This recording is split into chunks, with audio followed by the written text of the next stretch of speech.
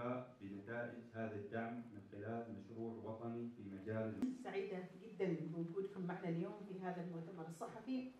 طبعا يقوم المختصون بنقل عدد من عينات الجزيرة العربية.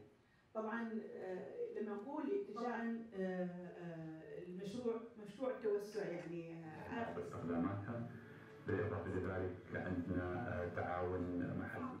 الظفار ما يحتاج ال- ال- الفطر هذا يكون آه، موزة ثانية لأول مرة في عمان وفي كامل الجزيرة العربية هذه واضحة عندكم أمل الله آه، السعدي النجم عميد آه، من درجة كثيري دكتور علي الطبية وبدأ في آه، آه، قدموا لنا يعني آه، وأيضا في لاين من التجارب مقاومتها. اكتشاف لثلاث فطريات كبيرة تعرف لأول مرة في العالم. بالإضافة لعشر فطريات تعرف لأول مرة في سلطنة عمان وفي شبه الجزيرة العربية. مركز عمان للموارد الوراثية الحيوانية والنباتية يقوم بالمشروع بالتعاون مع جامعة سلطان قابوس وجامعة ظفار وبتمويل من صندوق التنمية الزراعية والسمكية.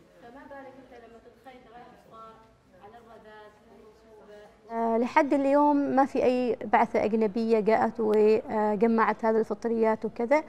هي أول آه، رحلة جمع كانت في عام 2018 كلها عمانيين آه، كلهم فنيين كلهم باحثين عمانيين في هذا المجال. فهي كلها فقط بعثات داخلية من داخل سلطنة عمان آه، مهتمين وعندهم شغف في هذا المجال.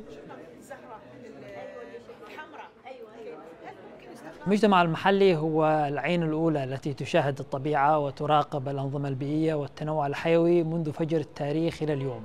هو اللي يحتك مع هذه النباتات وهو أول الأشخاص اللي يصنفوا هذه النباتات. يصنفها إلى الفائدة الاقتصادية. البعض منها يصنفها سامة البعض منها يصنفها علاجية والبعض منها يصنفها رعوية. وبناء على هذا التصنيف فتجد مع المجتمع المحلي خلاصة التنوع الحيوي اللي موجود في أي منطقة. لذلك دوره مهم جدا ومختصر لجهود كثيرة جدا وموفر اقتصاديا بشكل كبير جدا للباحثين.